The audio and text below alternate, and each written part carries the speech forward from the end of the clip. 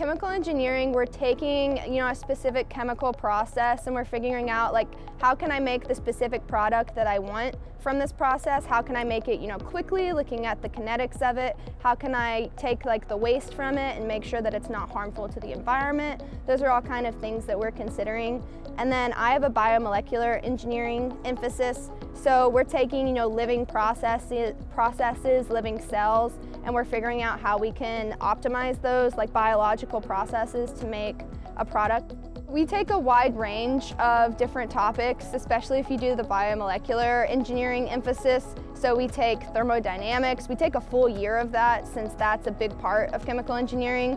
And then we take, you know, fluids and heat transfer, looking at, you know, fluids through moving through pipes. What the bulk of like chemical engineering material is, is mass transfer and separation. So like probably the, the fundamental part of chemical engineering is how can we take, you know, this mixture of chemicals and separate them into like pure chemicals, like through distillation or, you know, something called liquid-liquid extraction. So that's a, a big part of our curriculum that we take. The best thing about chemical engineering is just the amount of group work that we have, especially during senior year. I just feel like I know everyone in this department that I'm graduating with so well. Our faculties, uh, they're so supportive and their doors are always open.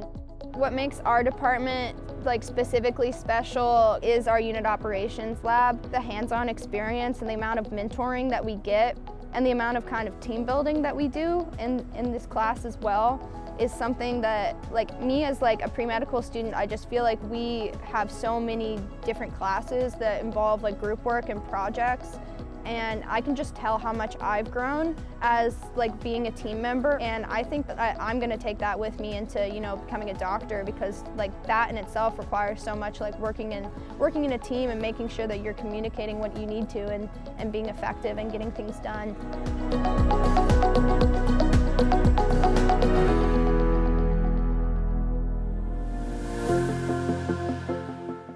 Me, I've known I wanted to be a chemical engineer since my sophomore year in high school. I was looking for a challenge that kind of mirrored all of the interests I had in chemistry, physics, math, and this was the major that did that for me.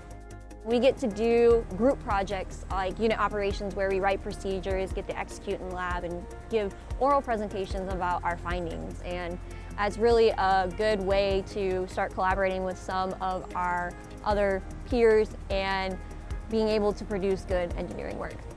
I've had two internship experiences. My first was with International Paper as a quality engineer, and so I was on the side of testing our product, making sure it was meeting the specifications required to sell it to our customers, and that was my first introduction to kind of that manufacturing environment and working with operators, which was a phenomenal experience.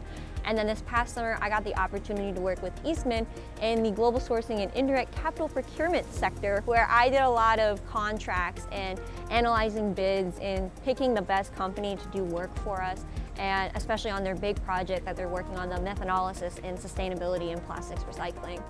So why chemical or biomolecular engineering?